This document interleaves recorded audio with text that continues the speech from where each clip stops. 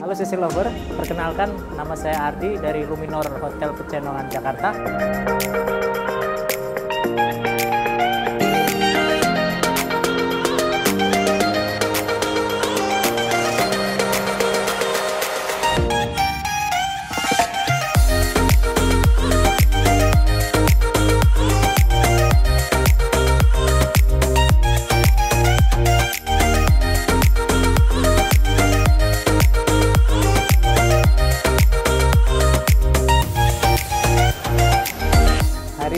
Kita akan membuat rendang ala Luminor Jakarta.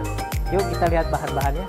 Untuk bahan-bahan yang pertama bawang putih, ada bawang merah, ada chicken powder, ada lada bubuk, ada santan, ada gula, kita ada garam, ada pakai ketumbar. Terus aneka rempah-rempah. Yang pertama lengkuas, daun salam, daun jeruk, daun kunyit, sama serai. Tambah lagi ada kapulaga, ada ini cabai merah besar sama cabai keriting. Next ada beef daging sapi. Bagian paha. Tambah lagi kemiri. Oke yang pertama kita akan siapkan bahan-bahannya. Yang pertama kita tuangkan minyak sedikit minyak.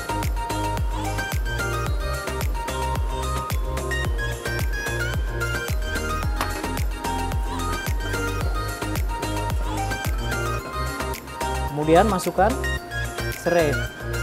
Lengkuas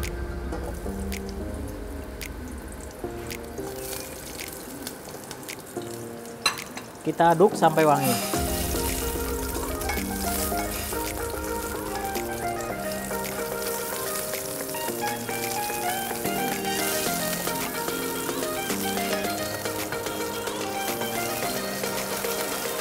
Setelah wangi, kita masukkan daun jeruk, daun kunyit, dan daun salam. Sementara itu kita kecilkan apinya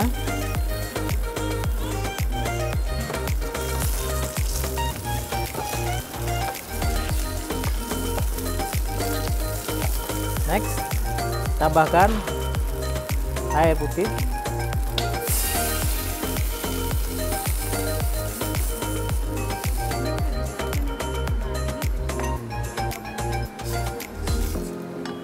Untuk yang tadi air sama bumbu yang sudah dihaluskan, perbandingan antara air dengan bumbunya satu banding dua.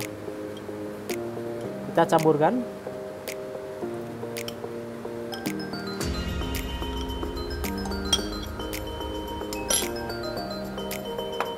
kemudian kita campur santan.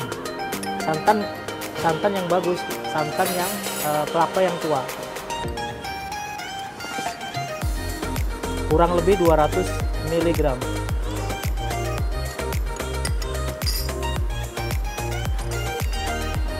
terus campurkan garam kurang lebih setengah sendok teh gula kasih 3 sendok teh.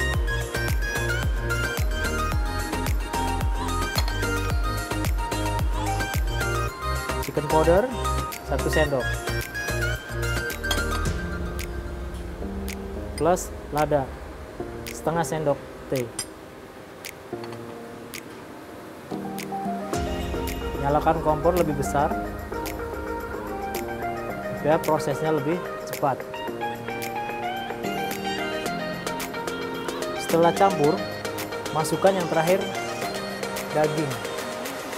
Nah untuk tips daging kita pilih daging paha. Cara memotong paha kita ikutin alur seratnya. Biar daging itu tersedia nggak terlalu keras. Uh, dagingnya ini biar cepat meresap bumbunya sama empuk. Oke kemudian kita masukin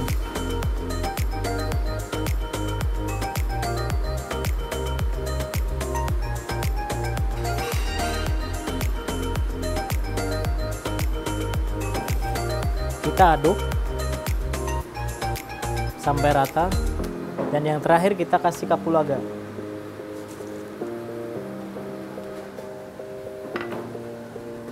Untuk proses pembuatan rendang kurang lebih 2 sampai 3 jam. Dalam setengah jam kita aduk dengan keadaan api kecil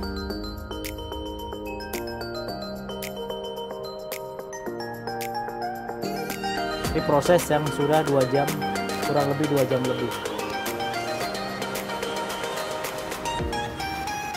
Tunggu sampai airnya reduce